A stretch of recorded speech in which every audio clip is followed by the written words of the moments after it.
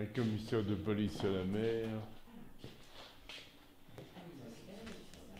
qui abandonne sur le pont euh, son paquet de tabac, qui abandonne sur le pont sa paire de lunettes, qui abandonne sur le pont son stylo. C'est quand même fâcheux.